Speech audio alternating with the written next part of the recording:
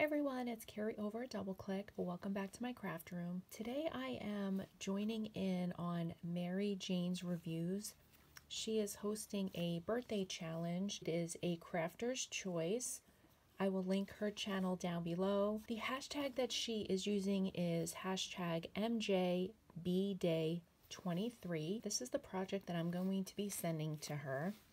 I am a new subscriber to her channel. I made this Cherry Hello card and I did make it flat because I will be sending out some flat mail. I cut out these strawberries using my Cricut machine and the Hello Kitty Cricut cartridge and I cut these out in a few different sizes.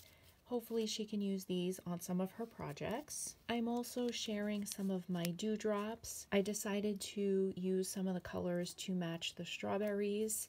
I have some of the green and some of the pinks in there. For my actual project, I made her this ATC card. I backed it with some cherry fruit paper, a strawberry that I've added some liquid pearls and some stickles, some washi and a word sticker, and this lemon die cut that I had in my stash. I have included some information about me on the back. That is the entry into her challenge. I've also created these little pockets using my paper tray ink die. I also made this little envelope using my Creative Time mini envelope die. Let's go ahead and put this card together. When I put together my flat mail, I like to make sure that I lay it out so that when the card folds, the projects aren't directly on top of each other. What I think I'm going to do is have my ATC card on the top, the strawberries on this bottom, and my dewdrops over here so that when it folds, nothing will be touching each other. So let's go ahead and put this together.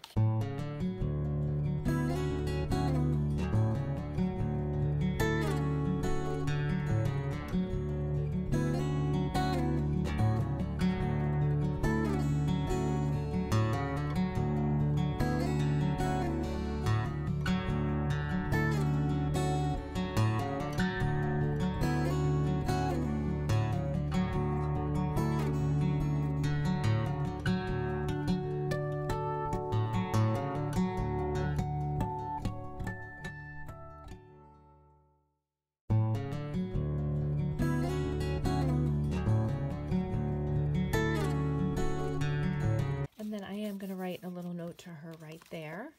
And as you can see, it folds up, stayed flat, and I will be able to mail this out with a postage stamp and maybe a little bit more if the weight goes over.